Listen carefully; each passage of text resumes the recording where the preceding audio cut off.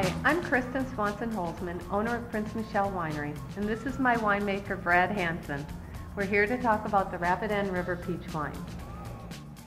Wow, if you like peaches, this is the wine for you. It's just like smelling a bowl of fresh fruit.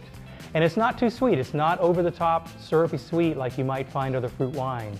It's great with southern barbecue. It's also great with spicier foods. And it's also Riesling based. It is Riesling based. Stay tuned, and we have a fabulous peach vinaigrette recipe for you to check out. Happy cooking! Cheers.